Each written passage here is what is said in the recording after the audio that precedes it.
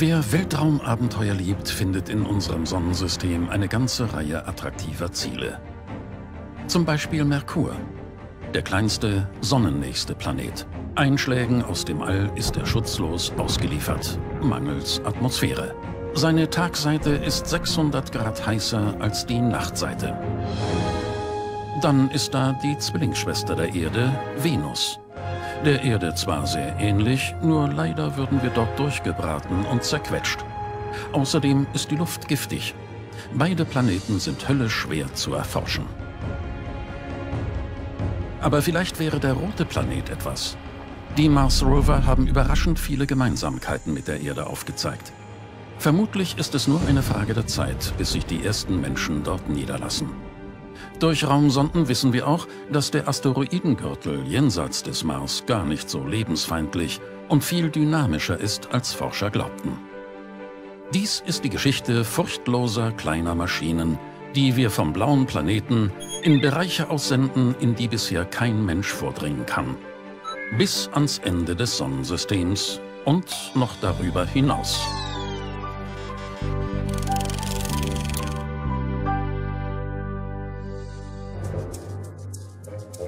Zwei Gesteinsplaneten sind der Sonne näher als die Erde.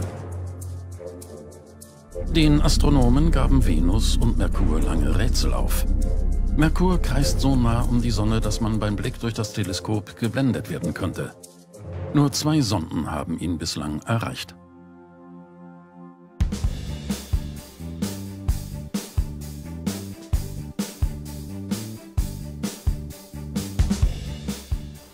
Am 2. November 1973 wartet Mariner 10 auf der Trägerrakete Atlas Centaur auf ihren Start.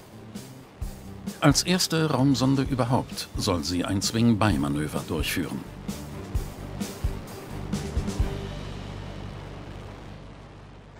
Bei einem Swing-By-Manöver fliegt die Sonde nahe an einem Planeten vorbei und nutzt dessen Gravitationskraft, um zu beschleunigen. Auf dem Weg zum Merkur sollte Venus die Sonde Richtung Sonne schleudern.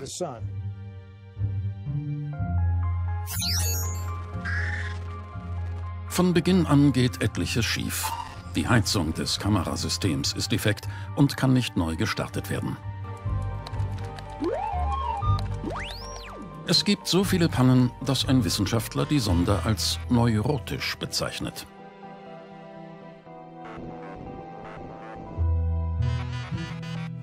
Jede unserer Sonden hat ihre eigene Persönlichkeit. Man muss mit ihren Macken umgehen können. Für die damalige Ingenieurskunst war die Sache extrem kompliziert. Das Kontrollteam kann die Probleme schließlich lösen.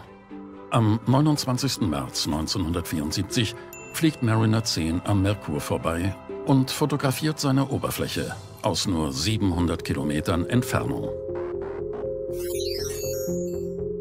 Zum ersten Mal gibt sich der geheimnisvolle Planet dem Menschen zu erkennen.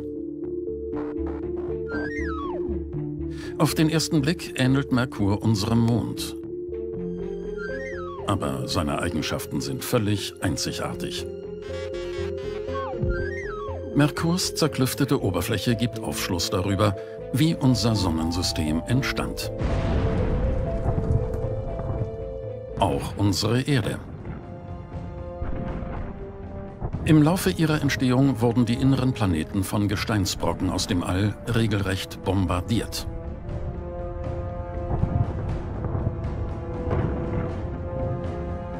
Auf der Erde sind die meisten Spuren solcher Einschläge längst abgetragen. Anders auf dem Merkur, der keine Atmosphäre hat.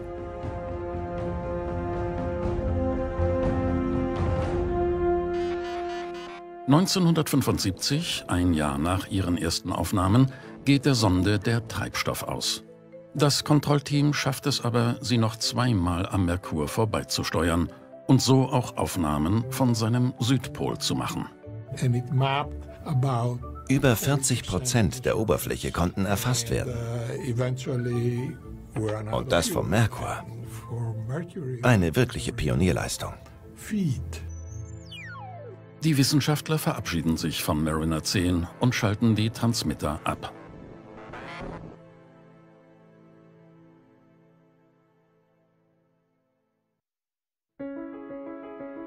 Vermutlich kreist die Sonde noch heute um die Sonne und wird von ihrer Strahlung langsam gebraten.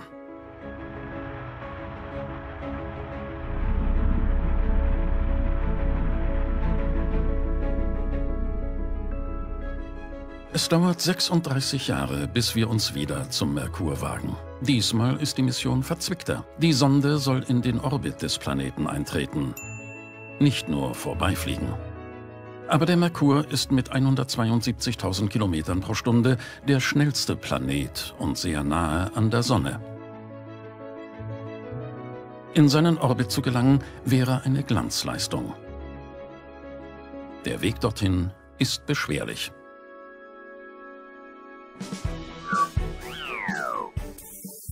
Die Sonde wird Messenger genannt. Sie ist mit modernster Technik ausgestattet. Main engine start, two, one and zero and liftoff of Messenger on NASA's mission to Mercury. Mit dem Start 2004 begibt sich Messenger auf eine siebenjährige Reise. Sieben Jahre.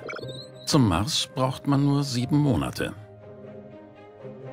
Wer Richtung Sonne reist, wird von ihrer immensen Schwerkraft permanent beschleunigt. Man braucht enorm viel Treibstoff, um in den Orbit einzubremsen. Wir nutzten die Gravitationskräfte der Venus, um die Sonde abzubremsen. Das klappt aber nicht auf Anhieb. Wir machten zwei Swing-By-Manöver bei der Venus und drei beim Merkur.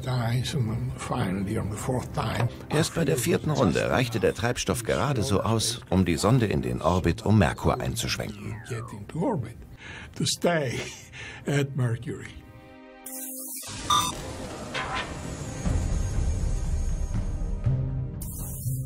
Am 18. März 2011 erreicht Messenger den Merkur-Orbit.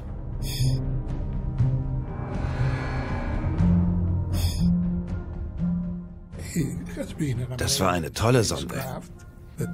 Die Technik war faszinierend. Besonders der Sonnenschild, der über 300 Grad Celsius aushalten musste.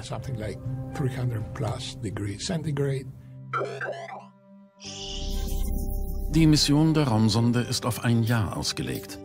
Aber das ist ihr nicht genug. Zwei Jahre lang kartiert Messenger die gesamte Oberfläche des Merkur. Auch die bislang unbekannte Hälfte. Und liefert spektakuläre Ansichten. Wir fanden Wassereis an den Polen. Am Nordpol, da wo die Sonne nie scheint. Und nicht gerade wenig Wasser. Billionen von Tonnen vermutlich. Wie kommt es dorthin? Eine Theorie besagt, über vereiste Kometen, die einschlugen. So sollen sich auch die Ozeane auf der Erde gebildet haben. Als unser Sonnensystem entstand, gab es überall Wasser. Der Merkur ist voller Einschlagskrater aus dem großen Bombardement. Aus dem Wasser wurde Eis. Und das bleibt gefroren, solange es nicht der Sonne ausgesetzt ist. 2012 stellt Messenger fest, dass der Merkur eine Kugel aus Eisen ist, umhüllt von einer dünnen Gesteinskruste. Sein Eisenkern macht 85 Prozent seines Radius aus. Zum Vergleich, beim Erdkern sind es gerade einmal 50 Prozent.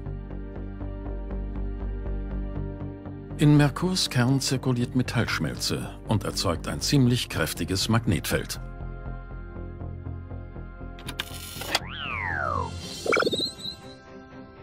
Im Frühjahr 2015 geht auch Messenger schließlich der Treibstoff aus. Und die NASA verabschiedet sich von ihrer Sonde. We are calling it end of mission for Messenger. Wir haben viele Jahre damit verbracht, die Sonde zu entwickeln und zu testen.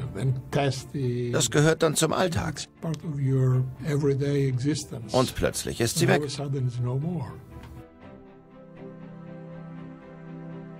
Am 30. April schlägt die Sonde mit etwa 15.000 Kilometern pro Stunde auf dem Merkur auf. Auf dem Weg nach unten schießt sie noch diese letzten Bilder.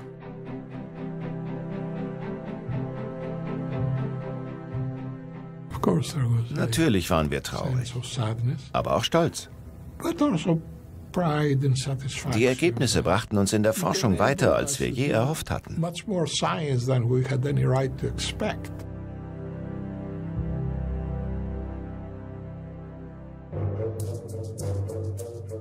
Wem der Merkur nicht zusagt, der kann es mit unserem Zwillingsplaneten, der Venus, versuchen. Sie ist fast genauso groß wie die Erde und ihr am nächsten. Also ist sie vermutlich auch der Erde am ähnlichsten. Zumindest dachte das der Mensch vor dem Raumfahrtzeitalter. Von der Erde aus sieht man nur die Atmosphäre der Venus. Die Menschen stellten sich einen Planeten mit viel Luft, üppiger Vegetation und weiten Ozeanen vor. Als wir ihn schließlich erreichen, müssen wir erkennen, der Zwilling ist das Gegenteil der Erde. Vollkommen lebensfeindlich. Vielleicht ein Ausblick auf unsere eigene düstere Zukunft? In der dicken Atmosphäre ist ein gigantischer Treibhauseffekt am Werk. Auf der Oberfläche ist es so heiß, dass Blei, Zinn oder Zink schmelzen. Vulkane speien giftige Dämpfe aus. Damit nicht genug, würde schon allein der Druck der Atmosphäre einen Menschen zerquetschen. Ein Großteil dessen, was wir über die Venus wissen, stammt von der Sowjetunion. Sie startet zahlreiche Sonden, die aber entweder versagen oder aufgrund der aberwitzigen Bedingungen auf der Venus zerstört werden. Eine Sonde landet schließlich erfolgreich und liefert einige Minuten lang Daten.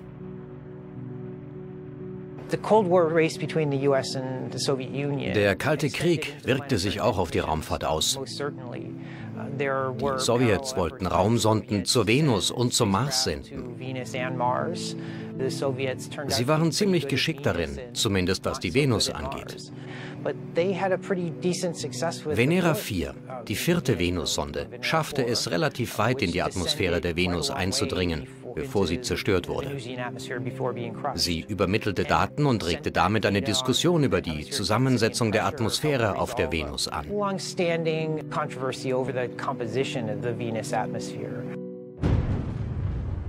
Am 15. Dezember 1970 schließlich landet Venera 7 als erste Raumsonde auf einem anderen Planeten.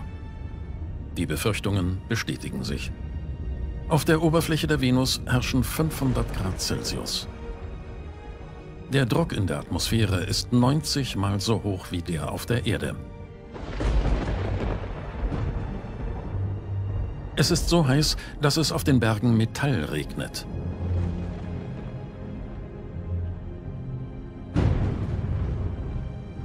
Die höchste Bergkette auf der Venus ist Maxwell Montes mit einer Gipfelhöhe von 10.800 Metern. Venera 7 besteht aus Metalllegierungen, die dem Druck eines Tiefseetauchgangs standhalten. Sie überlebt 50 Minuten auf der Venus. Die Oberfläche der Venus gleicht geschmolzenem Blei. Der Druck ist höher als der am Grund der Weltmeere. Die ersten Sonden wurden also überhitzt und zerquetscht gleichzeitig.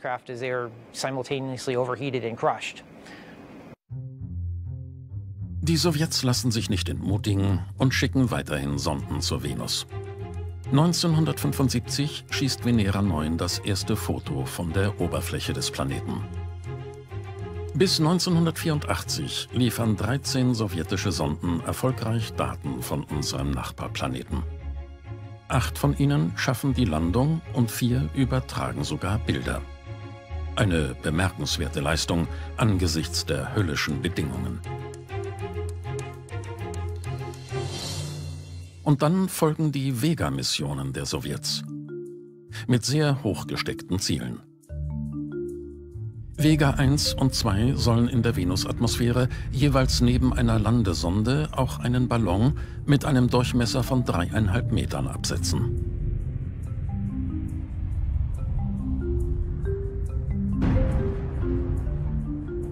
...1985 gelingt die Mission. Die Sonden landen und die beiden Ballons treiben zwei Tage lang in den Winden der Venusatmosphäre. 55 Kilometer über der Oberfläche sammeln ihre Sensoren Daten. So legen sie rund 12.000 Kilometer zurück. In dieser Höhe ist das Wetter vergleichsweise mild. Es ist sonnig und die Temperaturen sind erdähnlich.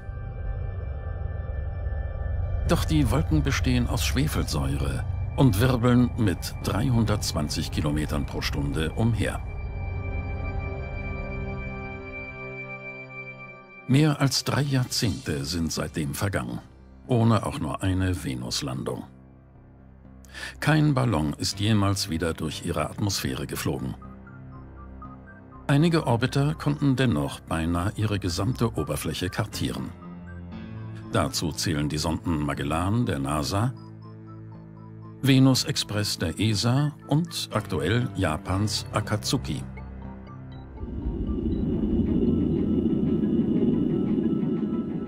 Der Traum, dass eines Tages auch Menschen die Venus besuchen, lebt fort. Allerdings ist der andere direkte Nachbar der Erde deutlich einladender.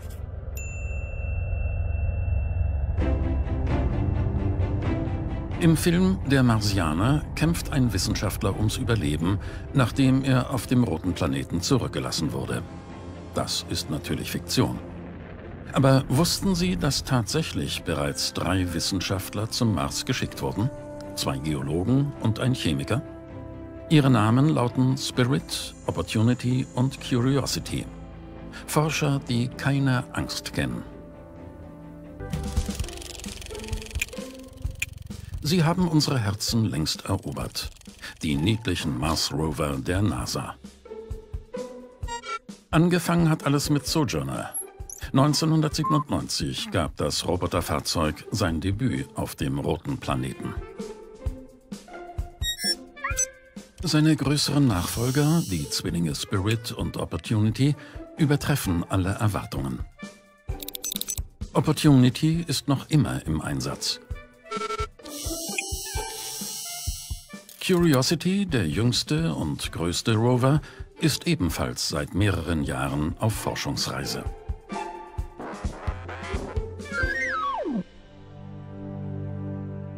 Sojourner wurde mit der Pathfinder-Mission zum Mars gebracht. Nach der Landung entließ Pathfinder den Rover zu einem auf sieben Tage angesetzten Ausflug auf dem roten Planeten.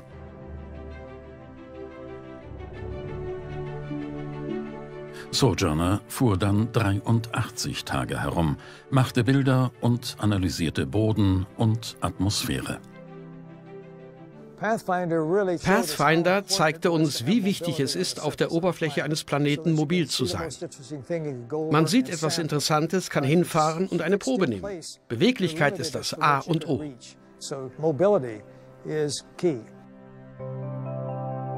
Sojourner fand heraus, dass das vulkanische Gestein auf dem Mars dem der Erde ähnelt. Wissenschaftler hatten das vermutet. Der rote Planet durchlief vor langer Zeit eine ähnliche Evolution wie der unsere.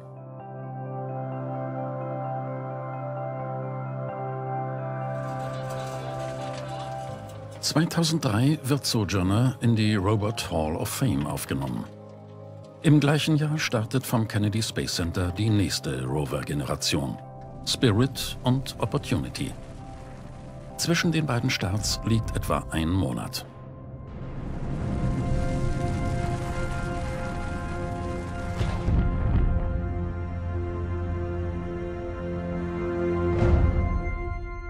Nach einer siebenmonatigen Reise erreicht Spirit als erster den Mars.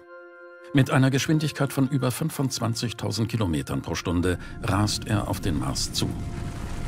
Sein Hitzeschild wird dabei so heiß wie die Oberfläche der Sonne. Und dann öffnet sich sein Überschallfallschirm. Dem Kontrollteam auf der Erde steht eine holprige Landung bevor.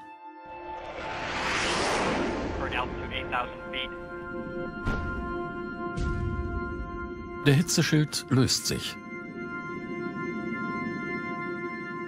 In weniger als einer Tausendstel Sekunde entfalten sich die Airbags.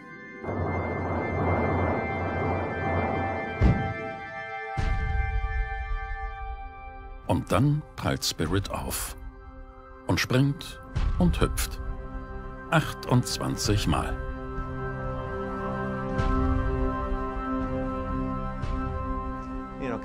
Ganz schön komisch, wenn man sich vorstellt, dass da ein 400 Millionen Dollar Rover drinsteckt und gerade auf dem Mars rumhüpft. Aber es hat funktioniert. Die Airbags lassen die Luft entweichen und die Solarpaneele klappen auf, um den Rover mit Energie zu versorgen.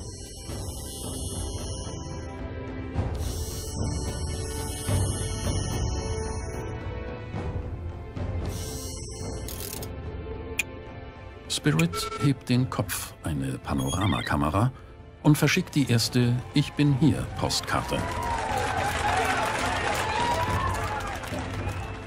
Dann blickt er nach Hause und macht die erste Aufnahme von der Erde, die je von einem anderen Planeten aus geschossen wurde.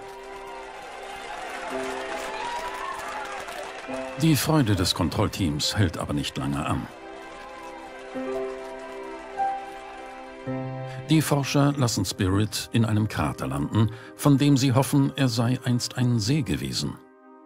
Aber sie finden nicht den geringsten Hinweis auf Wasser. Wir fanden nichts außer vulkanischem Material und Basalt. Das war eine Riesenenttäuschung.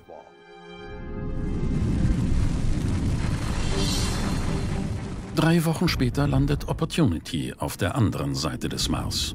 Ähnlich hart, ebenfalls heil.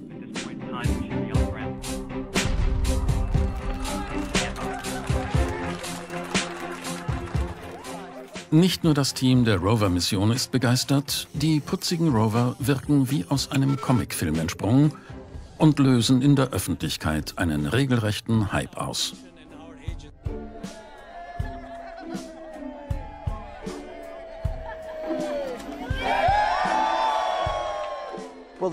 Die Rover sind hinreißend. Sie sind knuffig, furchtlos und sie machen das Ganze für uns. Wie kann man da nicht von ihnen fasziniert sein?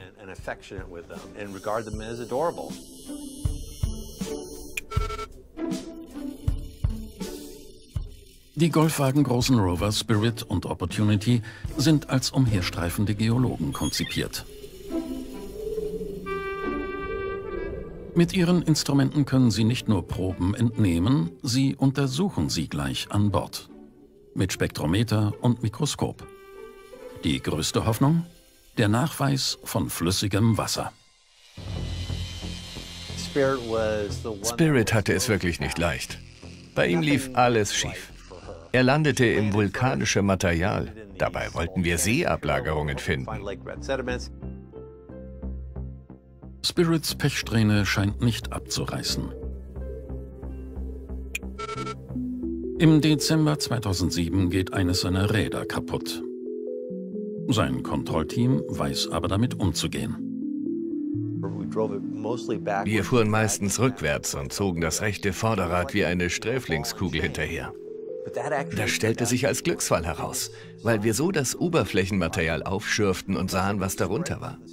Normalerweise wäre der Rover einfach darüber gefahren. So machte Spirit seine größte Entdeckung.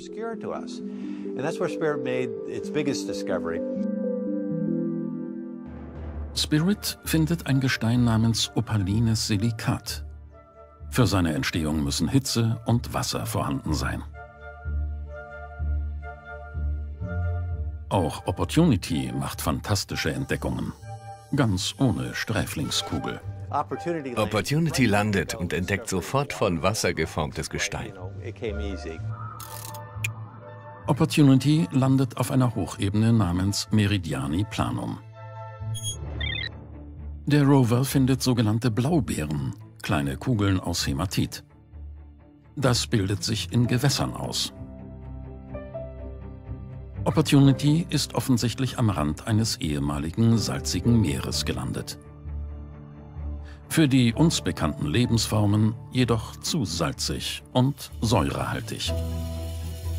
Nachdem er seinen Landeplatz, den Igelkrater, gründlich untersucht hat, fährt Opportunity weiter zum Endurance-Krater.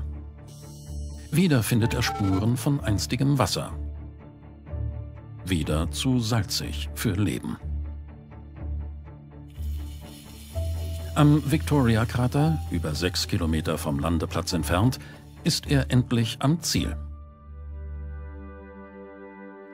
Wir konnten dort Spuren von pH-neutralem Wasser nachweisen. Also Wasser, das man trinken könnte, das hier vor dreieinhalb bis vier Milliarden Jahren floss.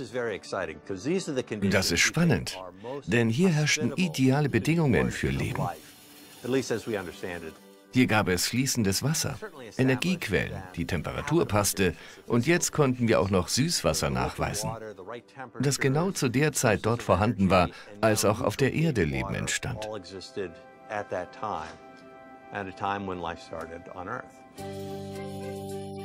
Spirit und Opportunity entdecken aber noch mehr. Sie fotografieren erdähnliche Wolken am Marshimmel finden einen Meteoriten, den ersten auf einem anderen Planeten, und weisen nach, was Wissenschaftler schon lange vermutet haben. Sandwirbel tanzen ständig über den Mars. Sogenannte Staubteufel. Die Staubteufel halten die beiden Rover nicht auf. Sie funktionieren länger als geplant. Viel länger. 2009, nach fünf Missionsverlängerungen, bleibt Spirit im weichen Marssand stecken. Sendet aber weiterhin Daten. Erst 2010 endet seine Kommunikation mit der Erde. Und ein Jahr später wird er für tot erklärt. Mehr als fünf Jahre lang schickte Spirit Forschungsergebnisse zur Erde und legte etwa acht Kilometer zurück. Uh, wir hatten von Anfang an mit Spirit gearbeitet. Jetzt können wir ihm nicht mehr helfen. Er ist auf sich allein gestellt. Wir erhalten kein Signal mehr von ihm. Wir haben über ein Jahr nach ihm gesucht. Jeden Tag haben wir über das Deep Space Network nach ihm gelauscht, verschickten 1400 Befehle. Keine Antwort. Wir haben es versucht. Wir wissen nicht, was mit ihm am Ende geschah. Fast so, als wäre ein geliebter Mensch vermisst und man weiß nicht, ob er tot ist oder noch lebt. Man kann einfach nicht abschließen.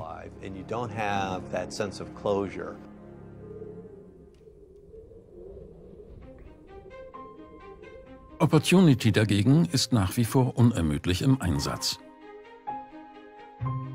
Ursprünglich sollte er nur 600 Meter weit kommen. Inzwischen hat er in anderthalb Jahrzehnten mehr als 40 Kilometer zurückgelegt. Damit legt er die Latte für zukünftige Rover sehr hoch.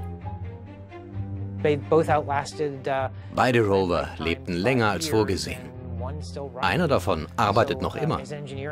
Eine Meisterleistung der Ingenieure. Curiosity muss sich anstrengen, um Opportunity zu schlagen. Curiosity ist ein NASA-Rover der nächsten Generation. Über Jahre sorgfältig zusammengebaut. Alright, stand by for test. Five, four, three, two, one, fire.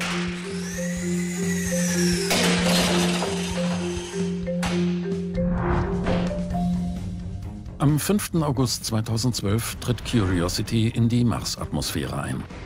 Mit einer Geschwindigkeit von 23.000 Kilometern pro Stunde, geschützt in einer Kapsel.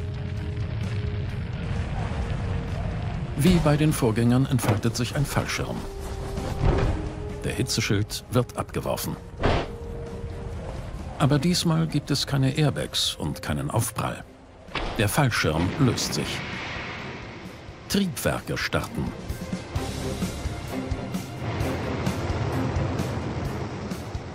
Und der Sky Crane lässt Curiosity sanft auf den Boden herab.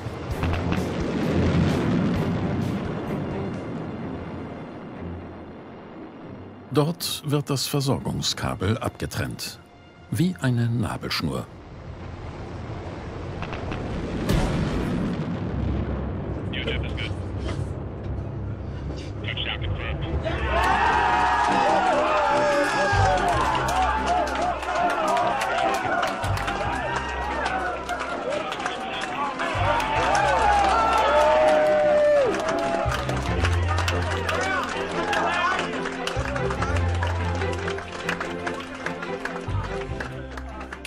Curiosity muss nicht erst von einem Länder entladen werden. Er kann sofort losfahren. Opportunity ist der Geologe und Curiosity der Chemiker auf dem Mars. Curiositys Arbeitsweise ist moderner als die seiner Vorgänger. Er berührt das Gestein nicht, sondern feuert Laser und Röntgenstrahlen ab.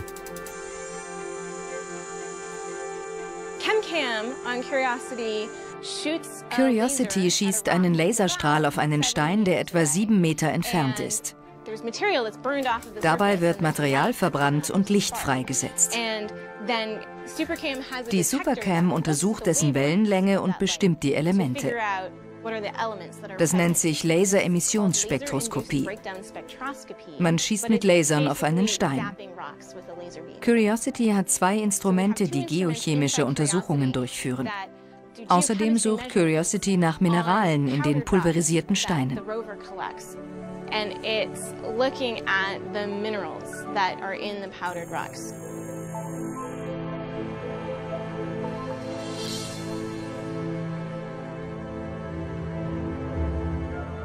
Die NASA lässt Curiosity im Gale-Krater landen, weil es dort möglicherweise früher einmal Wasser gab.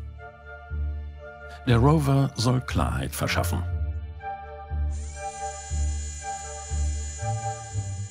Curiosity fährt auf den 5 Kilometer hohen Aeolis Mons zu, der sich mitten im Gale-Krater befindet.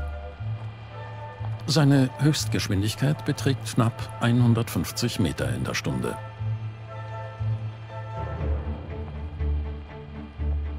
Auf seiner langen Reise über die Ebene trifft der Rover auf ein Dünenfeld.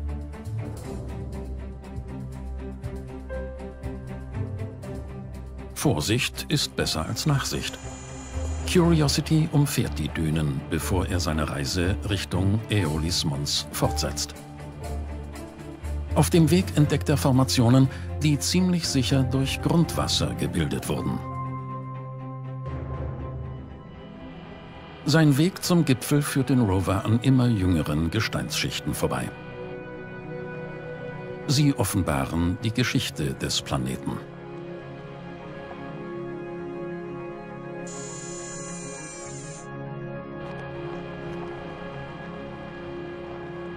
In vier Jahren sendet Curiosity mehr als 125.000 Bilder. Feuert fast 400.000 Mal seinen Laser ab und legt knapp 14 Kilometer zurück. Auch er leistet weit mehr, als von ihm erwartet wurde. Curiosity hat den Gale-Krater und Aeolis Mons gründlich erforscht und herausgefunden, dass es durchaus Gebiete auf dem Mars gibt, die für Leben geeignet waren. Wir brennen jetzt natürlich auf die nächste Mission, nämlich nach Beweisen zu suchen, dass es auf dem Mars einst Leben gegeben hat. Das wird der Job des Mars 2020 Rovers.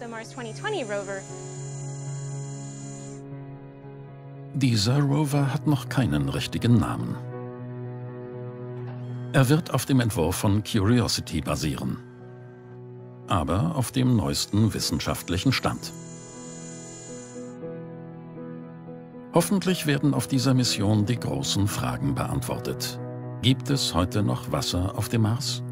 Und vielleicht sogar Leben? Für mehr als 2 Milliarden Dollar soll der Mars 2020 Rover den uralten Traum verwirklichen. Leben und arbeiten auf dem Mars. Neue Welten und neue Möglichkeiten erschließen. Auf jeden Fall tritt, pardon, rollt er in großen Spuren. Sojourner, Spirit, Opportunity und Curiosity sind schon wahre Stars. Sie vertreten uns auf dem Mars und zeigen menschliche Eigenschaften. Sie sind pflichtbewusst, furchtlos und lustig. Wir schreiben ihnen Persönlichkeiten und Charakterzüge zu und das verbindet sie noch mehr mit uns. Richtige Schätzchen. Eine letzte Station müssen die tapferen Forscher noch durchqueren, bevor sie zu den Gasriesen des äußeren Sonnensystems kommen. Der Asteroidengürtel.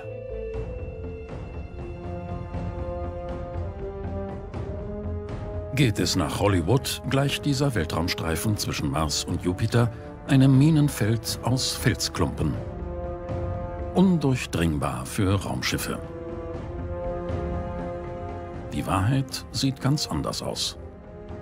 In diesem Ring gibt es zwar Millionen Asteroiden, von kleinen Steinchen bis hin zu Protoplaneten.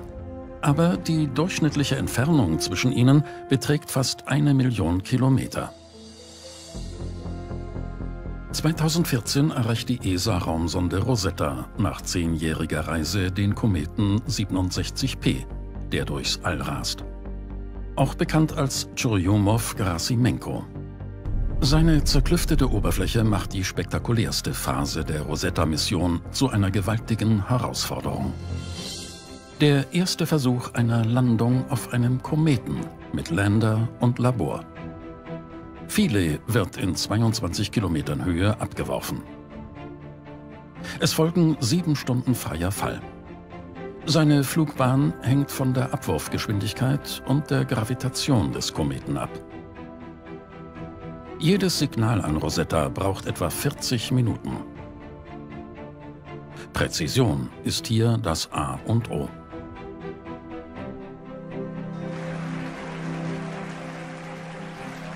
Um 17.03 Uhr zeigt die Telemetrie an, dass Philae auf dem Planeten angekommen ist.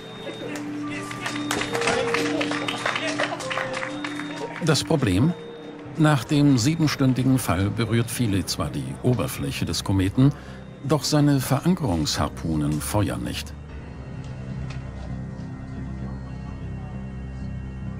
Der Lander prallt zweimal ab und steigt über einen Kilometer weit in die Höhe.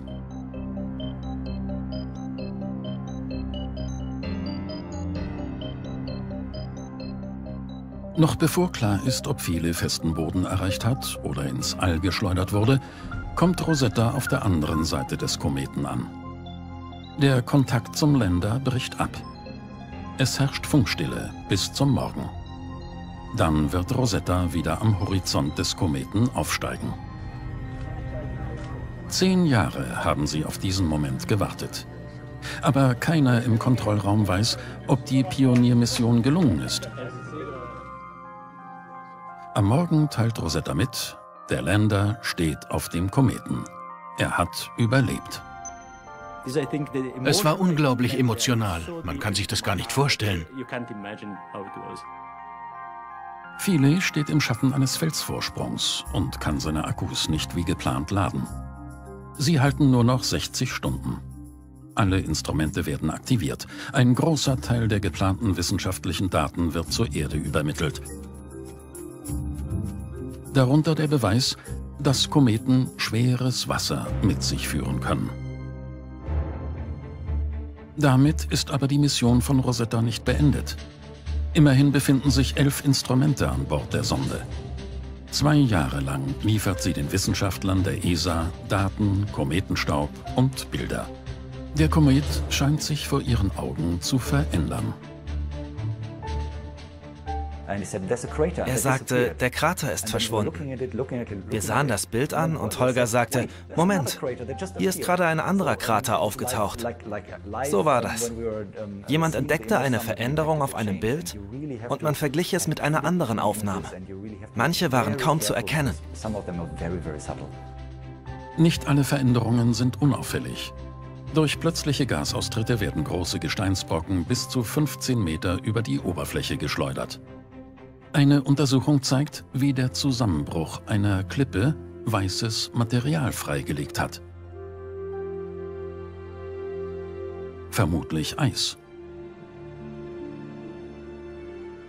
Und dann bringen die letzten Bilder von Rosetta eine wahre Überraschung zutage. Für mich ist das wie eine Zeitmaschine. Wir erkennen, wie sich zu Beginn unseres Sonnensystems kleinste Partikel zusammenfügten, um größere Partikel zu bilden. Kometen sind wie ein Fenster zur Vergangenheit. Eine Zeitkapsel aus dem Ursprung, als unser Sonnensystem entstand. Über die Erforschung der Kometen erfahren wir, welche Bedingungen damals herrschten.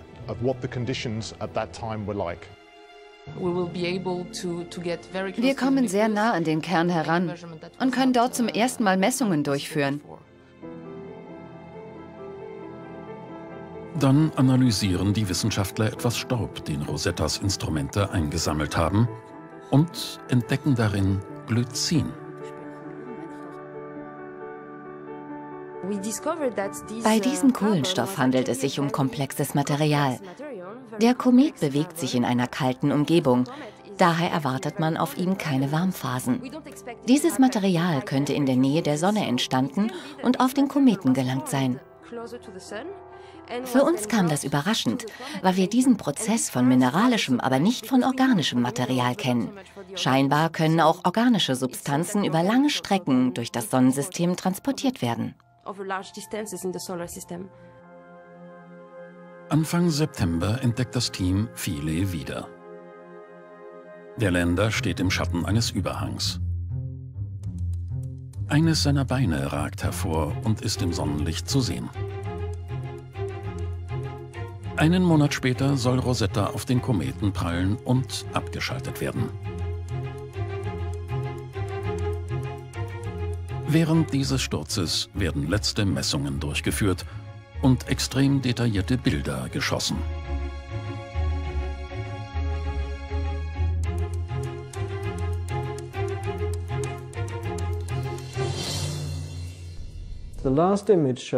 Das letzte Bild entstand 80 Meter über der Oberfläche. Rosetta war extrem schnell. Es lief wie in einem Zeitraffer.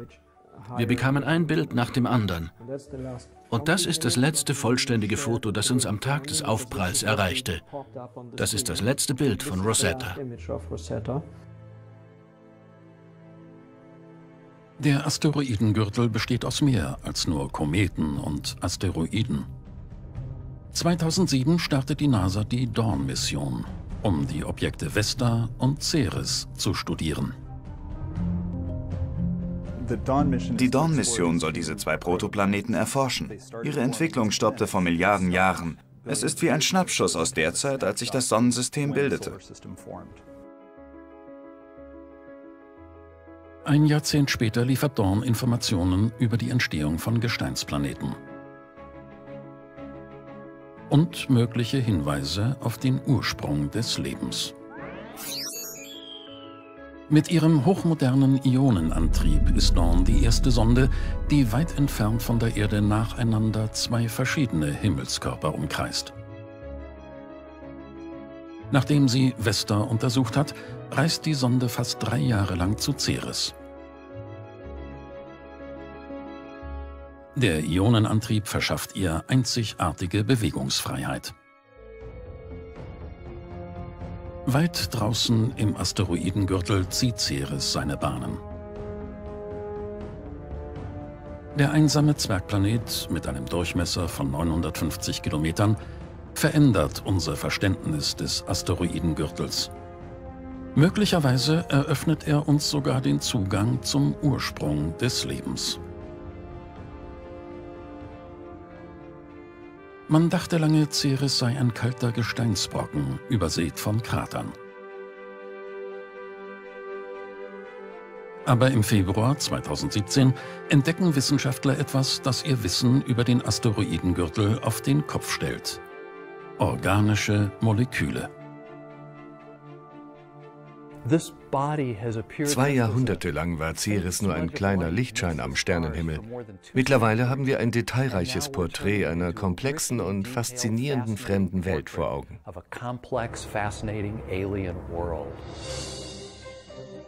Dawn kreist in einer Höhe von 385 Kilometern um Ceres. Sie ist Ceres näher als die ISS der Erde. Die Sonde ist mit einer beeindruckenden Anzahl modernster Instrumente ausgestattet. Dawn hat eine Kamera an Bord, die Aufnahmen von der Oberfläche schießt. So können wir besser verstehen, wie Ceres aufgebaut ist und die Oberfläche topografisch erfassen. Ein weiteres Instrument ist das Spektrometer für sichtbares Licht und infrarote Strahlung. Es bestimmt mit Hilfe des reflektierten Lichts die mineralische Zusammensetzung der Oberfläche. Dann gibt es noch GRANT, den Gammastrahlen- und Neutronendetektor. Auch er verrät uns viel über die Oberfläche von Ceres. Er vermisst die Neutronen, die beim Aufprall kosmischer Strahlung auf den Asteroid frei werden. Grant kann sie erfassen und so die mineralische Zusammensetzung der Oberfläche analysieren.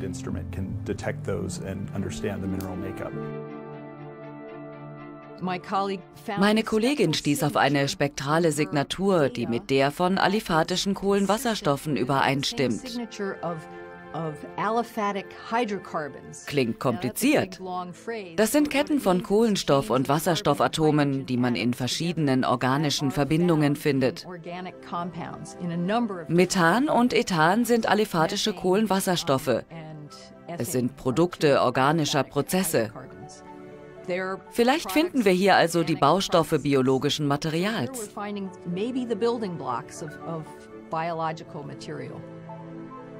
Die organischen Materialien, hier in Rot dargestellt, wurden auf einer 1000 Quadratkilometer großen Fläche im Ernotet-Krater gefunden und haben ihren Ursprung vermutlich auf Ceres selbst. Würden sie von einem Asteroideneinschlag stammen, wären sie weiter verstreut und nicht an wenigen Stellen hoch konzentriert, wie es Dorn beobachtet hat. Die genaue Zusammensetzung der Moleküle ist noch nicht bestätigt. Doch alles deutet in Richtung Cerit oder Asphaltit.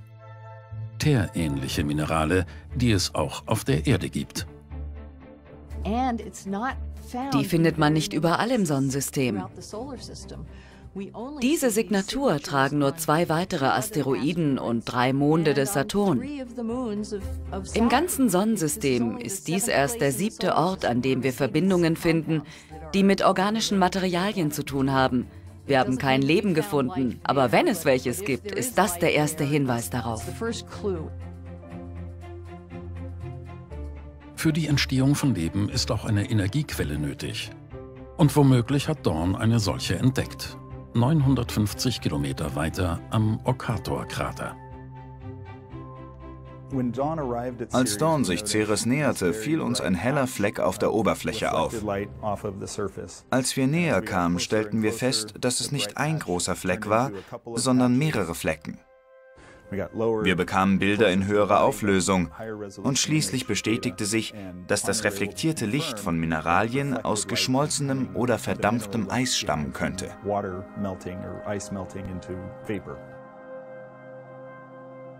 Der Okator ist ein Krater mit einem Durchmesser von 92 Kilometern. Er enthält die höchste bekannte Konzentration an Carbonatmineralien außerhalb der Erde auch wenn es sich dabei nicht um organische Verbindungen handelt, die Entdeckung dieser Salze ist von genauso großer Bedeutung. Erstaunlicherweise ist der helle Bereich etwa 30 Millionen Jahre jünger als der Krater selbst. Er scheint auf Ceres entstanden zu sein. Ein Hinweis auf geologische Aktivität. Beweise, die diese Theorie unterstützen, finden sich auf einem vier Kilometer hohen Berg namens Ahuna Mons. Wissenschaftler vermuten, es handelt sich um einen sogenannten Kryo- oder Eisvulkan. Das würde die Anwesenheit von Natriumcarbonat und Salzen erklären. So etwas hatten wir im ganzen Sonnensystem noch nicht gesehen. Der Berg ist hoch und hat sehr steile Hänge. Wenn Ahuna Mons ein Kryovulkan ist, dann muss es unter der Oberfläche von Ceres etwas geben, das die Materialien schmelzen lässt und sie an die Oberfläche drückt. Wir wissen nicht, um welche Materialien es sich handelt. Außerdem sind die Temperaturen auf Ceres so niedrig, dass es nicht die gleiche Art von Magma wie auf Erde oder Mars sein kann.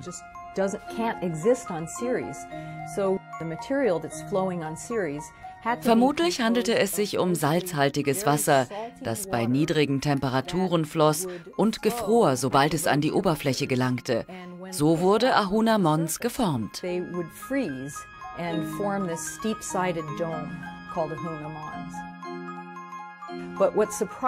Wir sind überrascht, dass das erst kürzlich stattgefunden hat. Wir dachten, Ceres sei ein kalter Fels. Doch anscheinend stimmt das nicht. Sie ist ein aktiver Protoplanet. Das hat uns wirklich überrascht. Die Suche nach Leben ist immer auch die Suche nach Wasser. Auf Ceres könnte es einmal Leben gegeben haben. Die Voraussetzungen dafür stimmen. Es gab bzw. gibt Wasser, die wichtigsten chemischen Zutaten und Energiequellen.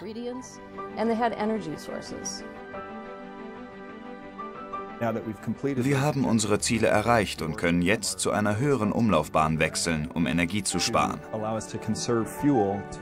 So können wir länger bei Ceres bleiben. Wir beobachten Ceres weiter von einem höheren Orbit aus, um unsere Datensätze zu erweitern.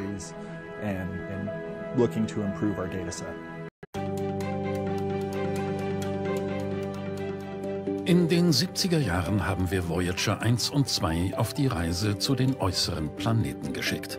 Vielleicht schaffen sie fünf Jahre, dachten wir. 40 Jahre später sind die beiden Raumsonden immer noch da. Die beiden sind die Liebe meines Lebens.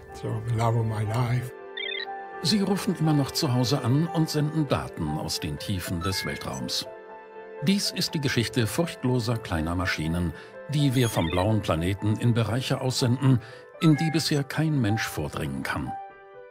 Bis ans Ende des Sonnensystems und noch darüber hinaus.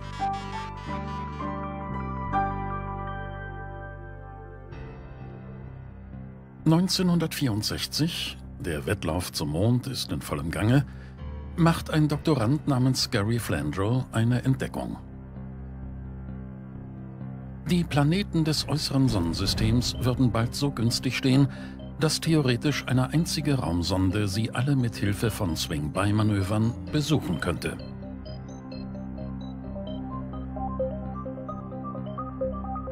Die Raumsonde würde die Gravitation jedes einzelnen Planeten nutzen, um zu beschleunigen und gleichzeitig Treibstoff sparen. Diese sogenannte Grand Tour wäre danach nicht mehr so bald möglich. Die Grand Tour wiederholt sich nur alle 176 Jahre. Dann stehen Jupiter, Saturn, Uranus und Neptun so günstig, dass ein Raumschiff in einem Rutsch an allen vorbeifliegen kann.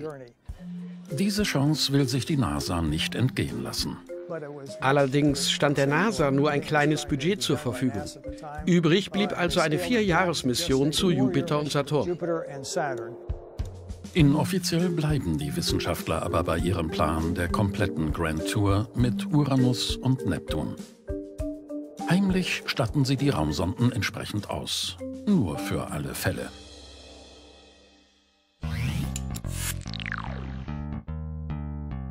Voyager 1 und 2 sind fast baugleich.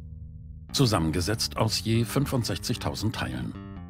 Jede Sonde ist mit Instrumenten für zehn verschiedene Experimente ausgestattet.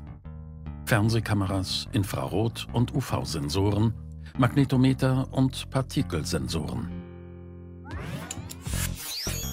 Daten können entweder sofort zur Erde gesendet oder gespeichert und später auf ein 8-Spur-Band übertragen werden. Ganz im Stil der 70er. Jede Sonde wiegt etwa so viel wie ein Smart. Nur, dass der nicht auf 40.000 Kilometer pro Stunde beschleunigen muss, um der Schwerkraft der Erde zu entfliehen. Cape Canaveral, August 1977. Eine Titan Centaur 3E-Rakete trägt Voyager 2 ins Weltall. Voyager 1 folgt Anfang September. Sie fliegt auf einer direkteren Route und wird schon Wochen vor ihrem Zwilling die äußeren Planeten erreichen.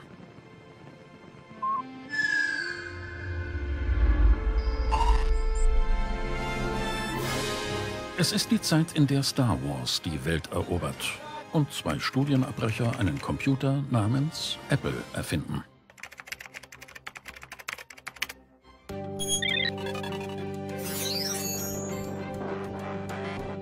Der Tagesablauf der Sonden wird von der Erde aus fürsorglich überwacht. Über Codes erhalten sie minutengenaue Anweisungen. zunächst erstellt von Linda Spilker. Ich hatte fast schon mütterliche Gefühle gegenüber den Voyager-Sonden entwickelt. Wir waren jedes Mal erleichtert, wenn sie uns signalisierten, dass alles in Ordnung ist. Und später von Susie Dodd. Es war mein erster Job nach der Uni und eine aufregende Zeit. Ich habe alle wichtigen Wissenschaftler kennengelernt, auch Carl Sagan. Sie kamen vorbei, um sich die Daten und Bilder anzusehen. Zwischen Frühjahr und Sommer 1979 erreichen die Raumsonden Jupiter.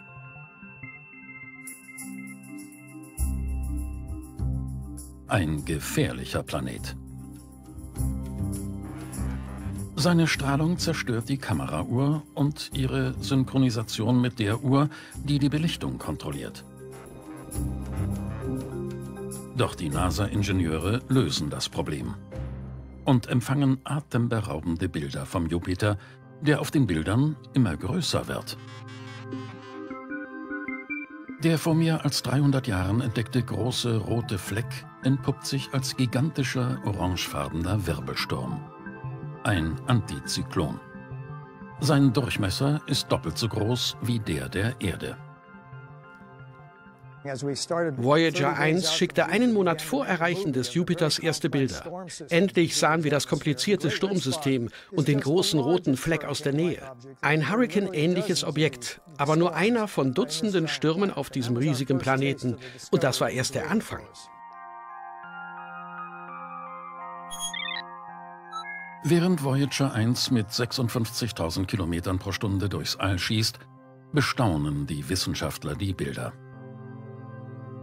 Doch die großen Überraschungen halten die riesigen Jupitermonde bereit. Io ist der innerste Jupitermond und der trockenste der vier galileischen Monde. Mit dem, was dann folgt, hatte niemand gerechnet. Eine Doktorandin sah sich die Fotos genauer an und entdeckte darauf diesen riesigen Bogen. Sie sagte, schaut euch das mal an.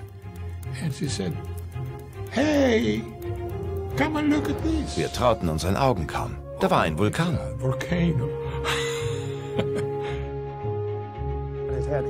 Voyager 1 erfasste acht aktive Vulkane.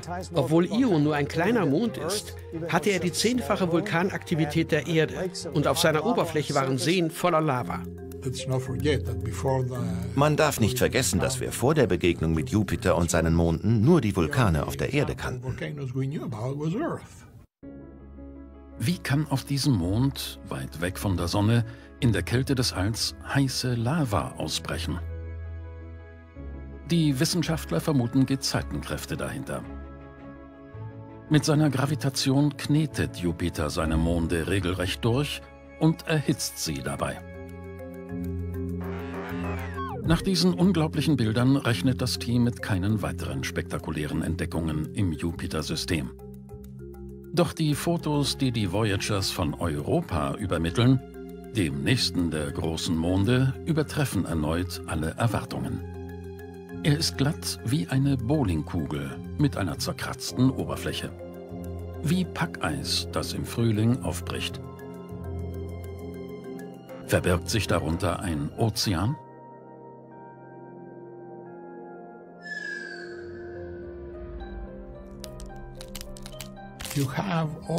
Es ist alles vorhanden, was nach unserer Kenntnis für die Entstehung von Leben notwendig ist. Wasser, offenbar auch organische Stoffe und eine Energiequelle, nämlich die Hitze, die durch die Schwerkraft von Europa, Jupiter und Io entsteht und die diesen verborgenen Ozean permanent durchquirlt.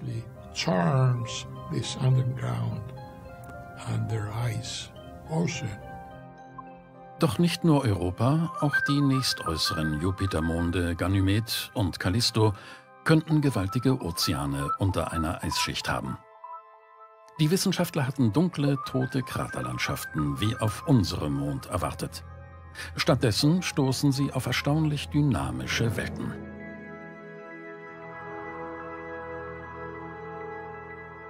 Dann finden sie heraus, dass den Saturn nicht wie vermutet drei, sondern tausende Ringe umgeben. Einige haben mysteriöse Speichen, andere sind verdreht und verflechten sich. Die leuchtenden Ringe bestehen aus Staub, Eis und Gesteinsbrocken und sind sehr dünn.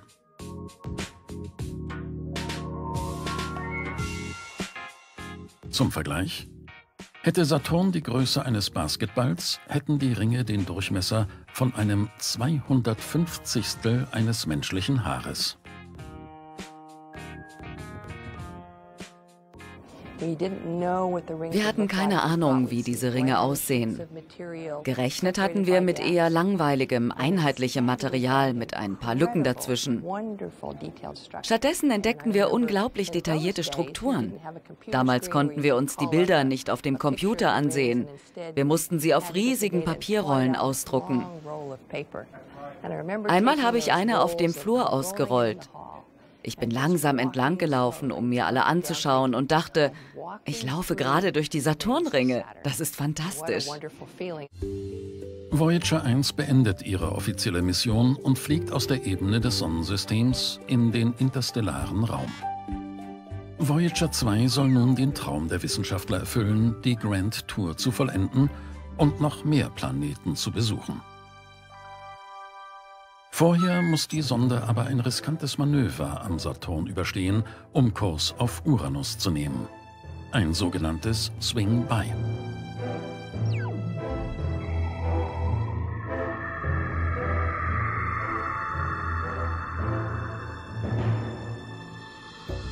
Voyager 2 passiert den Saturn und bekommt von der Gravitation des Planeten eine gewaltige Beschleunigung verpasst. In Richtung Uranus. Fünf Jahre später erreicht Voyager 2 ihr Ziel.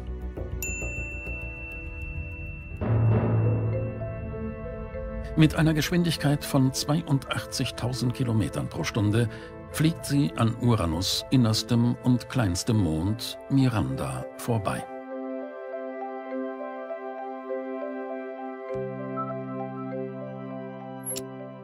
Die Bilder vom Uranus übertreffen alle Erwartungen der Wissenschaftler. Die eigentliche Mission von Voyager 2 ist bereits seit fünf Jahren abgeschlossen. Der geheime Plan, die Grand Tour zu vollenden, rückt in greifbare Nähe. Die Sonde macht sich auf den Weg zu ihrem letzten Ziel, Neptun.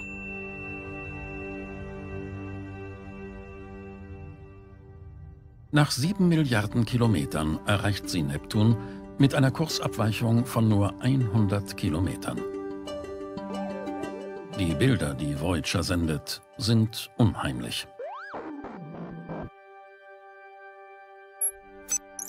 Nach einigen kleineren Wolken erscheint ein gigantisches Sturmsystem von der Größe der Erde. Nach dem Besuch des letzten Gasriesen nimmt auch Voyager 2 Kurs auf den interstellaren Raum. Für das Team ändert sich damit einiges. Es war eine tolle Zeit, ständig in den Zeitungen und Nachrichten. Und plötzlich wurde es ruhig. Wir hatten die Raumsonde zwar noch, aber es war ein bisschen traurig. Sie flog jetzt ins tiefe, dunkle Weltall. Ganz allein. Inzwischen mehr als 17 Milliarden Kilometer entfernt von der Erde sendet Voyager 2 weiter Daten von den Außengrenzen unseres Sonnensystems. Das wird einmal ein trauriger Tag. Wir werden auf Antwort warten, aber keine mehr bekommen. Wir werden Befehle schicken, aber Ihr Sender wird irgendwann nicht mehr ausreichend Energie haben. Und dann wird Voyager nur noch ein stummer Botschafter unserer Erde in der Milchstraße sein. Aber sie wird immer noch Abenteuer erleben. Ich weiß nur nicht welche. It's just that I won't get to know what that adventure is. This Abenteuer wie diese sind etwas ganz Besonderes. Für mich ist Voyager der Christoph Kolumbus der Raumfahrt.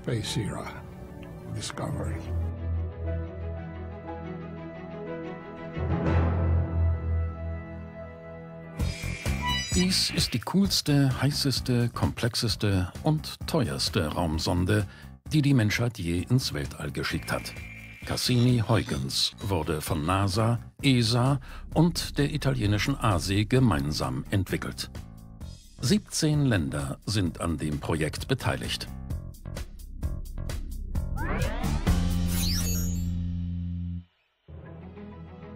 Vor der Cassini-Huygens-Mission hatten wir nur flüchtige Blicke auf dieses Juwel unseres Sonnensystems erhascht. Cassini aber reist zum Saturn und bleibt dort. Lange, sehr lange.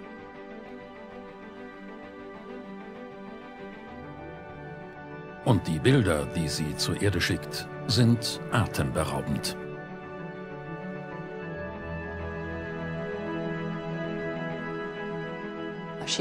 Nach Cassini mussten wir die Lehrbücher über den Saturn neu schreiben, über seine Ringe und Monde wie den Titan. Cassini hat alles verändert.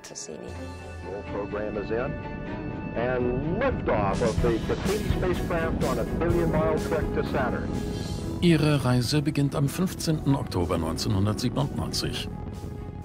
Eine Titan 4B-Rakete trägt die Hightech-Sonde in den Nachthimmel.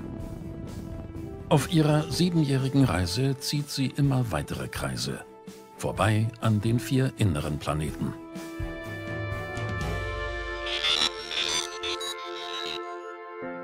Am 1. Juli 2004 schwenkt sie in die Saturn-Umlaufbahn ein.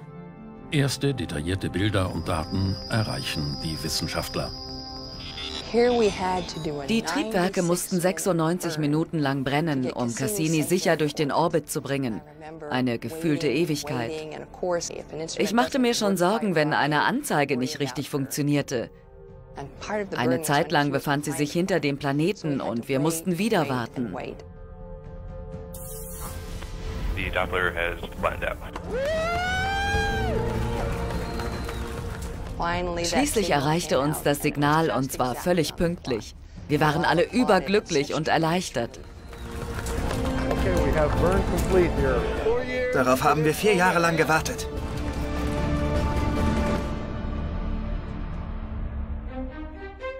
Cassini tanzt auf verschiedenen Umlaufbahnen um den Saturn und ermöglicht völlig einzigartige Einblicke. Die Sonde schickt faszinierende Bilder von den Saturnmonden und Ringen. Und natürlich von Saturn selbst. Auf dem Saturn wüten unvorstellbar heftige Stürme und gigantische Blitzeinschläge. Ein wunderschönes Polarlicht taucht am Südpol auf, der sogenannte Hotspot. Er entsteht durch Gasexplosionen, die das riesige Magnetfeld durchdringen. Cassini macht sie sichtbar. Die Saturnringe übertreffen alle Erwartungen. Sie erstrecken sich über hunderttausende Kilometer und sind zum Teil nur zehn Meter dick. Sie bestehen unter anderem aus Wassereispartikeln. Manche sind mikroskopisch klein, andere groß wie Hochhäuser.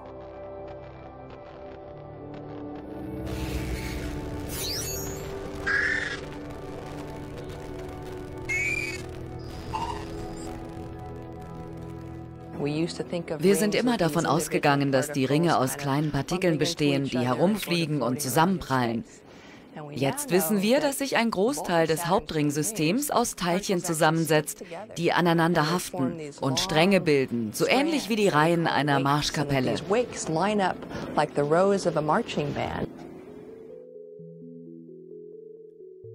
Sie haben Rillen wie eine Schallplatte. Die entstehen unter anderem durch die gravitative Wechselwirkung der Monde, die den Saturn umkreisen. Manche der Monde befinden sich selbst in den Ringen. Diese sogenannten Schäfermonde stabilisieren die Ringstruktur. Die Ringe brechen auseinander und fügen sich wieder zusammen, wie ein wunderschöner kosmischer Tanz.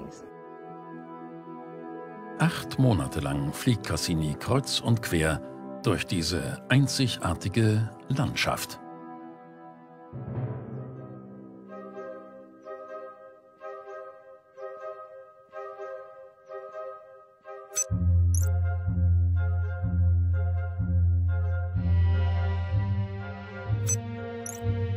Dann steuert sie Titan an, den größten Saturn-Mond. Auf ihn sind die Wissenschaftler besonders gespannt. Die ganzen Jahre über hat der Orbiter Cassini den Länder Huygens Huckepack getragen. Als erste Raumsonde soll Huygens jetzt auf einem fremden Mond landen. Das Problem? Titan hat eine Atmosphäre.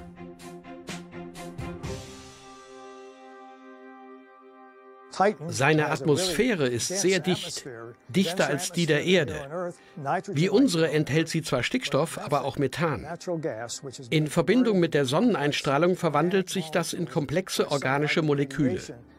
So ähnlich dürfte auch die Atmosphäre auf der Erde gewesen sein, bevor sich dort Leben entwickelte und Sauerstoff erzeugte. Heiligabend 2004 trennt sich Cassini von Huygens. Das Baby der ESA ist jetzt auf sich gestellt.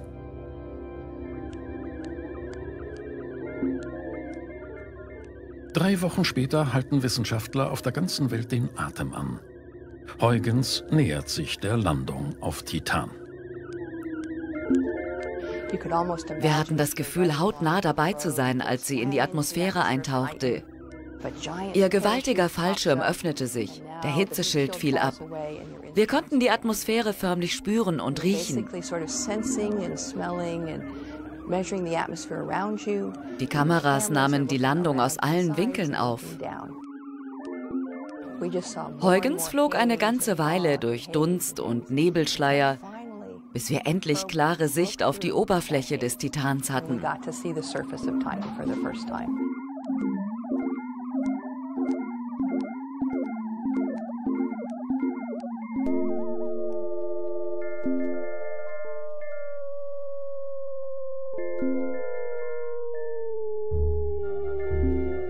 Oberfläche wirkt merkwürdig vertraut und zugleich bizarr.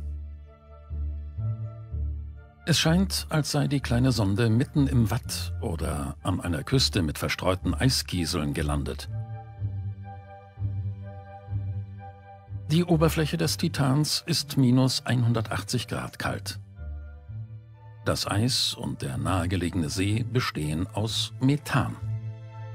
Dann trat Cassini in den Orbit von Titan.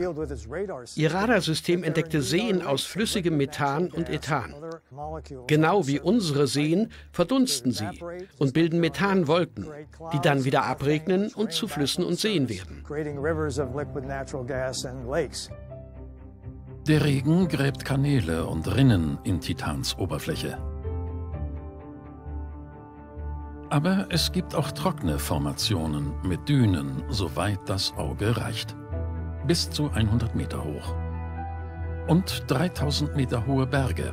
Das lässt darauf schließen, dass hier tektonische Kräfte am Werk sind, wie auf der Erde. Flüssiges Gas spielt auf Titan die Rolle des Wassers auf unserer Erde. Zum Beispiel bildet Methan als Gas Wolken und fällt als Methanregen wieder auf die Oberfläche. Die Seen sind ungefähr so groß wie die auf der Erde. Die Frage ist, ob es dort auch Lebensformen gibt.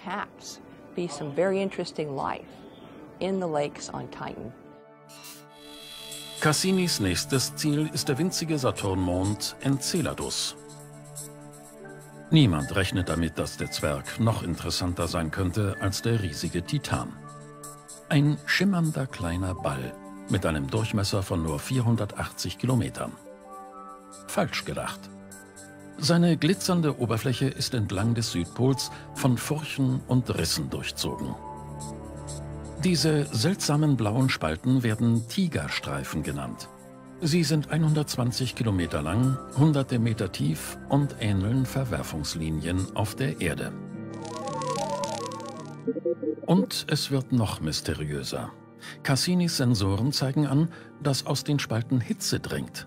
Die normale Oberflächentemperatur beträgt minus 200 Grad. An den Spalten ist es rund 120 Grad wärmer. Cassini gelingen faszinierende Gegenlichtaufnahmen. Die Tigerstreifen stoßen Wasser hunderte Kilometer weit in den Weltraum.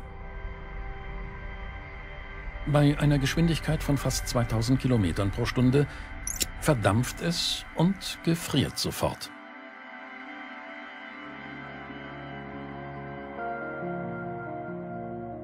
Die Mitarbeiter des Kontrollzentrums programmieren einen neuen Kurs für Cassini. Sie fliegt jetzt direkt durch die Fontänen und sammelt Partikelproben. In den übermittelten Daten entdecken die Wissenschaftler Erstaunliches. Organische Moleküle, die Bausteine des Lebens. Die Geysire waren gerade aktiv, also konnte die Sonde direkt durchfliegen und Proben entnehmen. Es handelte sich tatsächlich um Wasser.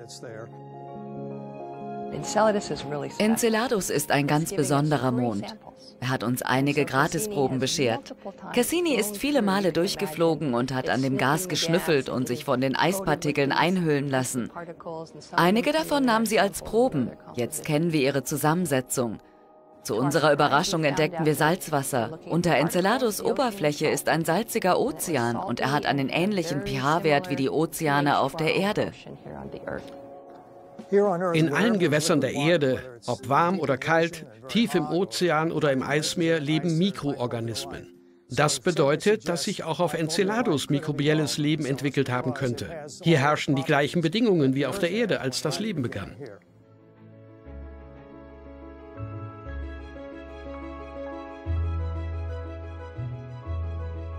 Im Jahr 2013 fliegt Cassini dann hinter die Saturnringe und wirft einen Blick auf die Erde. Ein winziger Punkt im gewaltigen Sonnensystem.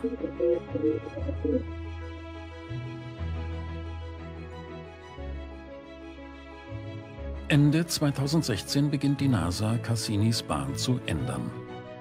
Vorbereitungen für das spektakuläre Ende der Mission, das große Finale. Cassini unternimmt jetzt waghalsige Manöver.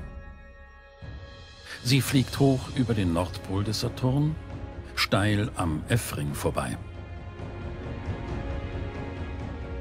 Anschließend schießt die Sonde erneut durch die Geysire des Enceladus, um dann zwischen dem Gasriesen und seinem innersten Ring durchzutauchen. Und das 22 Mal.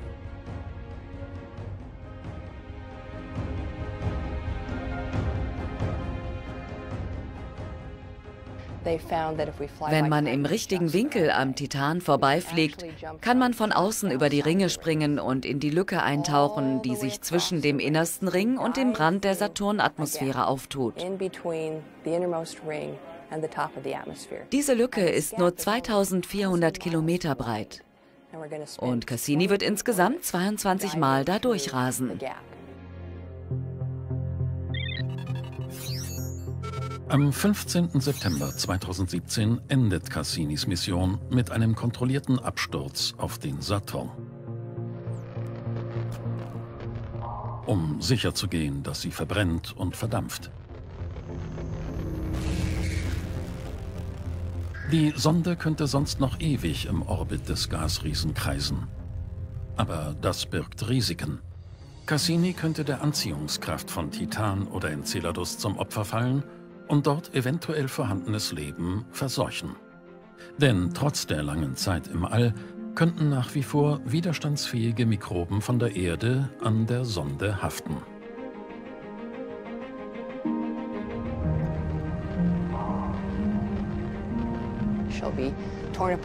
Sie verglüht als gigantischer Feuerball in der Saturnatmosphäre. Man stelle sich das mal vor. Ihre Überreste werden zu einem Teil des Planeten. Sie verschmilzt mit ihm. So gesehen ist das ein wunderschönes Ende für Cassini.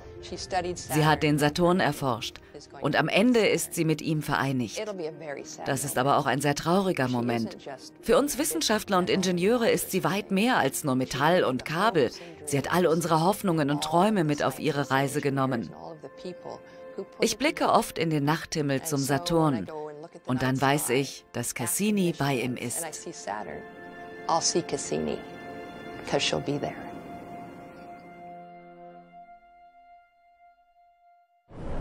and lift off the Atlas V with Juno on a trek to Jupiter. Fünf Jahre nach dem Start in Cape Canaveral schießt die Sonde Juno mit einer Geschwindigkeit von fast 270.000 Kilometern pro Stunde auf ihr Ziel zu, den Jupiter. Damit ist Juno das schnellste je von Menschen geschaffene Objekt. Jetzt muss die Sonde aber rechtzeitig abbremsen, um heil in den Jupiter-Orbit einzuschwenken.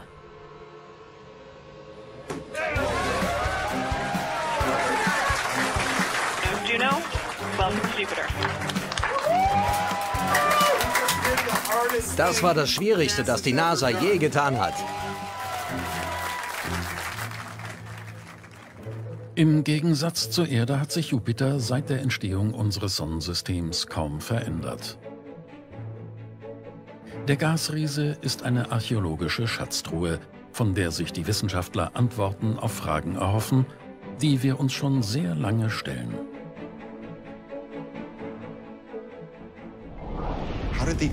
Wie ist unsere Erde entstanden? Woher stammen die Elemente, die das Leben entstehen ließen? Juno soll die Antworten finden. Er ist gigantisch. Alles im Sonnensystem, alle Planeten, Asteroiden und Kometen würden in den Jupiter hineinpassen. Frühere NASA-Missionen gaben Aufschluss über seine Monde, seine Staubringe und seine Atmosphäre. Aber sie konnten noch keinen Blick hinter die Van Gogh-artigen tiefroten, braunen, gelben und weißen Wolkenstreifen werfen. Bis jetzt.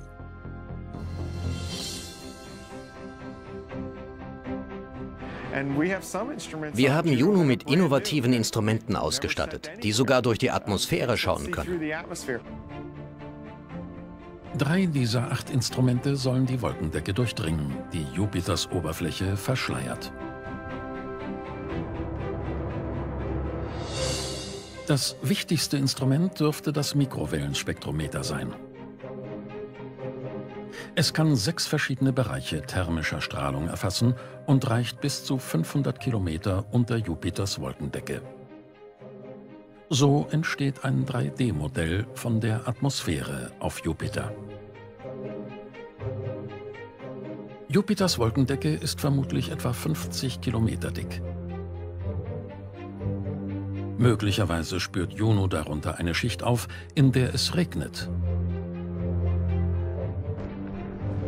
Kein Wasser, sondern flüssigen Wasserstoff. Junos Instrumente dringen immer tiefer in den Jupiter. Hier bringen gewaltige Kräfte eine eigenartige Substanz hervor. Im Inneren des Jupiters ist der Druck etwa zwei Millionen Mal so stark wie auf der Erdoberfläche, sodass gasförmiger Wasserstoff zu einem Metall wird, zu flüssigem, metallischem Wasserstoff. Vielleicht entdeckt Juno einen riesigen Ozean aus Metall. Vielleicht sogar den größten im gesamten Sonnensystem. Junos Mikrowellenspektrometer soll Aufschluss über die chemische Zusammensetzung des Gasriesen geben. Außerdem wollen wir herausfinden, wie viel Wasser es auf dem Jupiter gibt. Für die Forscher steht fest, dass es Wasser auf dem Jupiter gibt. Die Frage ist nur, wie viel? Die Antwort darauf wäre ein wichtiges Teil im großen wissenschaftlichen Puzzle. Wie stark war Wassereis an der Entstehung der Planeten beteiligt?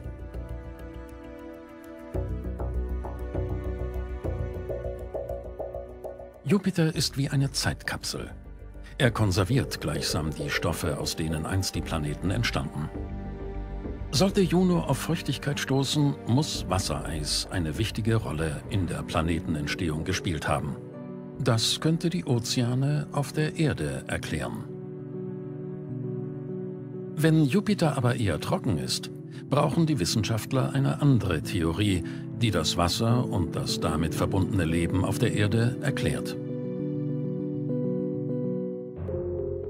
Die ersten drei Vorbeiflüge Junos am Jupiter liefern neue und wichtige Erkenntnisse. Allerdings lassen sie die Wissenschaftler auch mit einer gewissen Ratlosigkeit zurück. So hat der Nordpol eine blauere Farbe als der Rest des Planeten. Auf ihm toben unzählige Stürme. Einer weist sogar einen Durchmesser von 7000 Kilometern auf. Mehr als der Radius der Erde.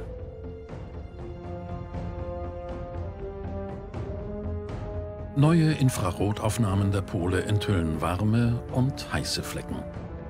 Sie blieben auf früheren Missionen unentdeckt. Jupiters bekanntestes Markenzeichen, der große rote Fleck. Das ist der größte Sturm, der je in unserem Sonnensystem beobachtet wurde. Er wurde bereits vor mehr als 350 Jahren dokumentiert. Unsere Erde hätte problemlos darin Platz. Zwar scheint der Sturm zu schrumpfen, aber Messungen des Hubble-Weltraumteleskops zeigen immer noch einen Durchmesser von 16.500 Kilometern. In seinem Inneren wüten Stürme mit einer Geschwindigkeit von über 650 Kilometern pro Stunde. Zum Vergleich, die höchste Windgeschwindigkeit, die je auf der Erde gemessen wurde, lag bei 400 Kilometern pro Stunde. Damals zog Zyklon Olivia an der Küste Australiens vorbei.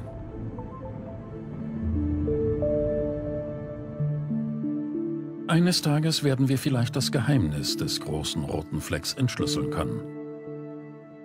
Die wissenschaftlichen Daten dazu werden uns wohl hier erreichen. Im Deep Space Network, einem Netz von Parabolantennen zur Kommunikation mit Raumsonden. Weltweit können nur drei Stationen mit Juno kommunizieren.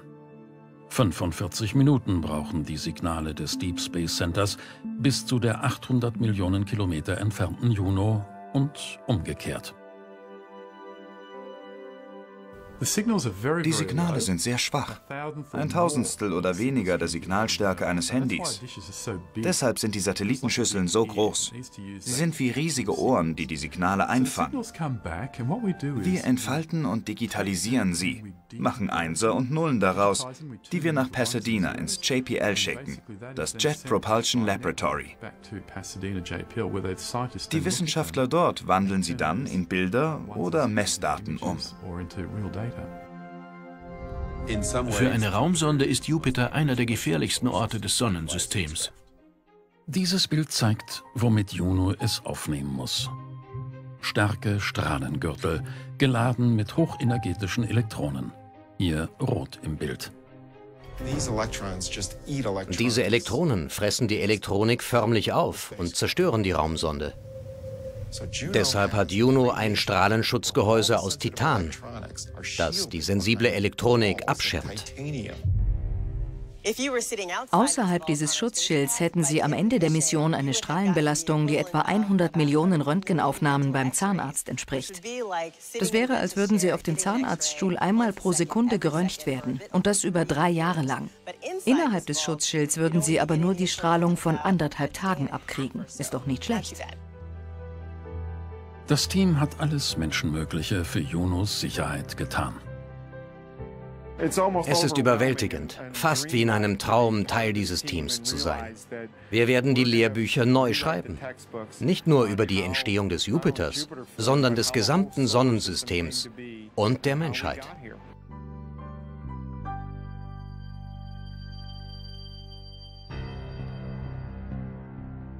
Hier, so dachte man, sei das Ende des Sonnensystems. Der winzige Pluto. Selbst in den besten Teleskopen nur ein Fleck. Eine leblose Welt in den eisigen Tiefen des Alls. Dachte man. We have ignition and liftoff of NASA's New Horizons spacecraft on a decade-long voyage to visit the planet Pluto. Gerade mal so groß wie ein Klavier startet im Januar 2006 New Horizons in Richtung Pluto. Fast zehn Jahre lang dauert die Reise der Sonde zu unserem neunten und letzten Planeten. Eine Reise von knapp fünf Milliarden Kilometern.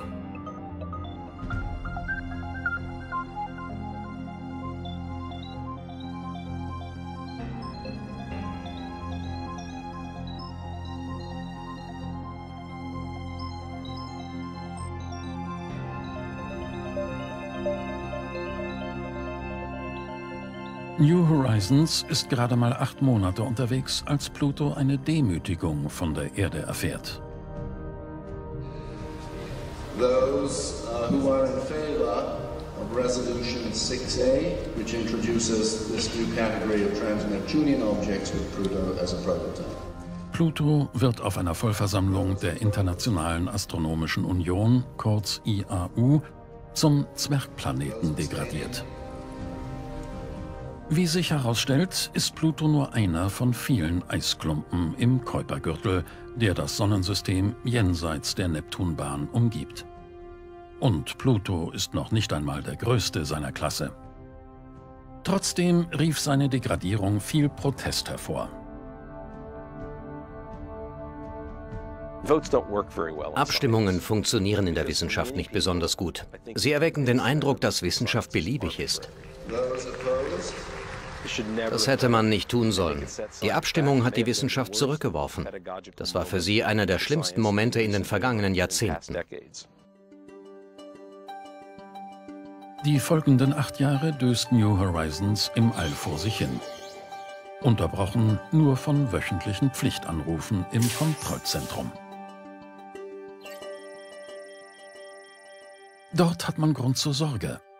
Als die Sonde Pluto näher kommt, zeigt sich nämlich, dass der Zwergplanet mehr Gefährten hat als gedacht.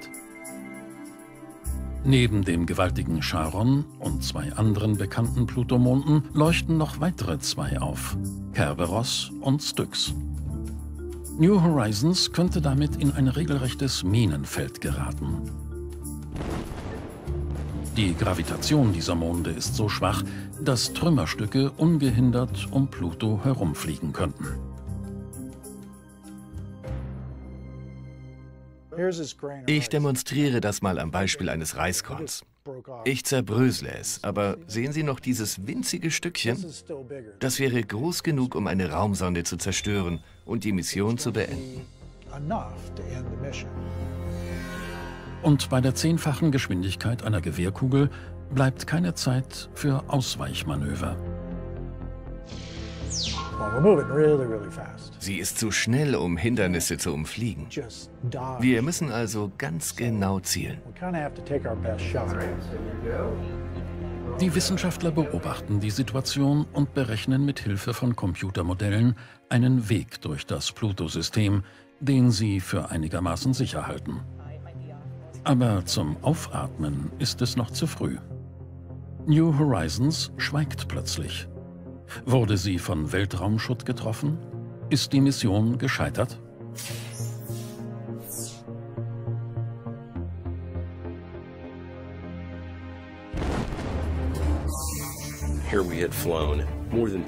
Und das nach mehr als 3000 Tagen Flugzeit zum äußeren Rand des Sonnensystems. Wir hatten gerade die letzten Anweisungen für den Vorbeiflug hochgeladen, als der Kontakt abbrach. Das hatte es während des gesamten Flugs nicht gegeben. So etwas sollte bei keiner Sonde und bei keiner Mission passieren. Die Wissenschaftler finden schnell heraus, dass sich die Sonde auf der korrekten Flugbahn befindet. Eine Computerstörung hatte die Kommunikation unterbrochen. Nach 90 Minuten ist der Fehler behoben.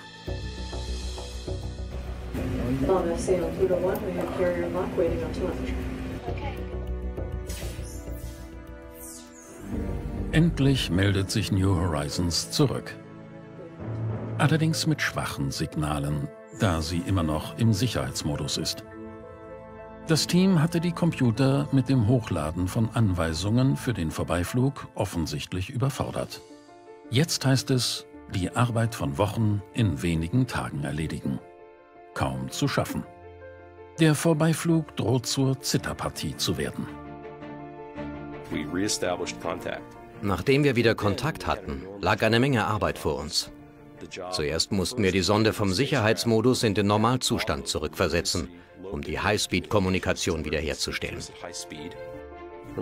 Dabei brauchen die Signale viereinhalb Stunden bis zur Sonde und noch einmal so lang zurück. Und die Zeit lief. Sechs Monate Arbeit, umsonst. Wir mussten sämtliche Flugpläne, Anleitungen, Steuerungsdaten, Pointing-Files und alles andere neu übertragen. Und das innerhalb von drei Tagen.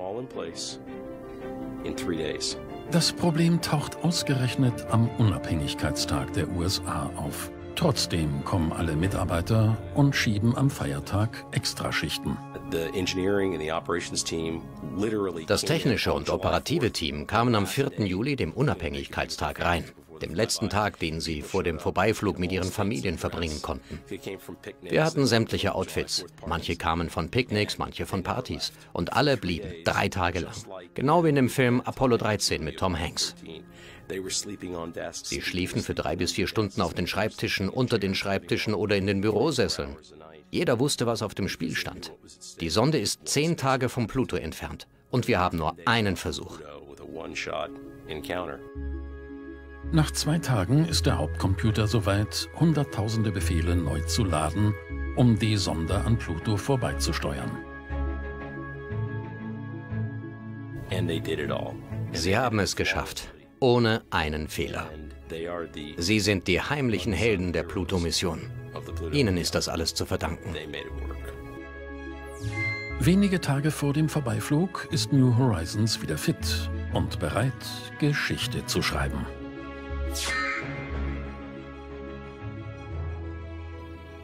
Scheitern ist keine Option. Am 14. Juli fliegt die Sonde mit 52.000 Kilometern pro Stunde an Pluto vorbei. Der Höhepunkt der Mission. Ganz auf sich allein gestellt untersucht sie den Zwergplaneten und seine fünf Monde. Das letzte Bild vor der größten Annäherung versetzt die Wissenschaftler und den Rest der Welt in Staunen. Der kleine Pluto ist eine vielfältige, magische Welt mit einem riesengroßen Herzen. Die Sonde kommt auf bis zu 12.500 Kilometer an Pluto heran. Der ganze Vorbeiflug dauert nur drei Minuten.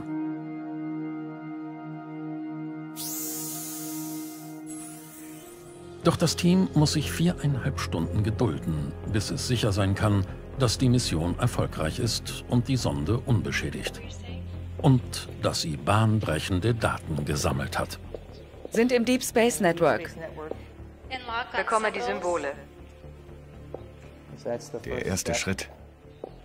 Die Daten treffen ein. Verstanden. Haben Kontakt mit der Telemetrie der Sonde.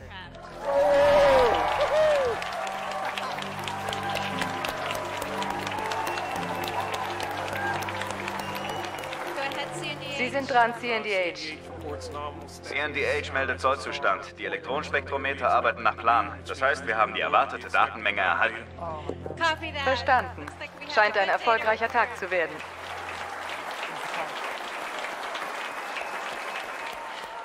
Wir haben eine gesunde Raumsonde, Daten vom Pluto-System und entfernen uns jetzt vom Pluto.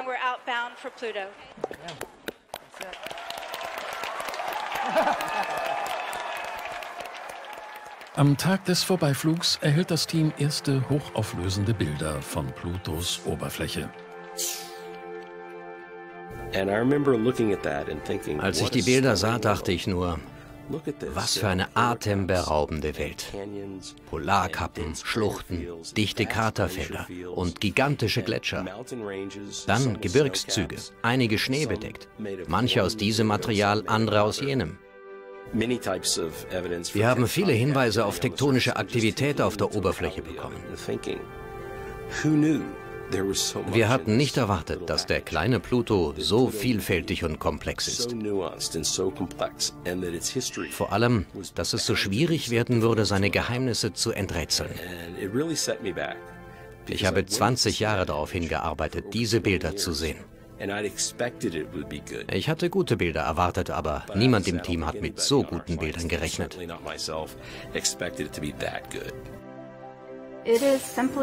Es ist einfach unvorstellbar, dass wir Einsen und Nullen über eine Entfernung von 5 Milliarden Kilometern verschicken können und daraus Informationen erhalten. Das ist angewandte Wissenschaft. Fantastisch. Doch die Datenübertragung ist langsam vergleichbar mit dem Internet der 90er. Die Wissenschaftler müssen fast 16 Monate warten, bis alle Daten übertragen sind. Dafür sind die Bilder von Plutos Oberfläche außergewöhnlich. Gletscher aus Wassereis, die auf dichtem, gefrorenem Stickstoff sitzen. Berge so hoch wie die Rocky Mountains mit Schneekappen aus Methan. Riesige Eisvulkane, die noch vor kurzem aktiv waren. Vier Milliarden Jahre alte Kraterlandschaften direkt neben jungen, geologisch aktiven Bereichen.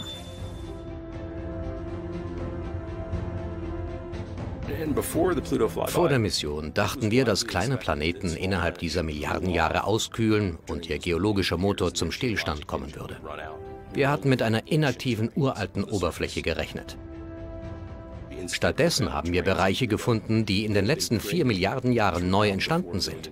Riesige Landschaften, Millionen Quadratkilometer groß, die in der jüngeren geologischen Vergangenheit entstanden sind. Das ist unglaublich. Das Erstaunlichste ist aber Plutos großes Herz. Es heißt Tombu Regio, benannt nach Plutos Entdecker Clyde Tombu. Die geheimnisvolle Ausbuchtung auf der linken Seite wurde Sputnik Planitia getauft.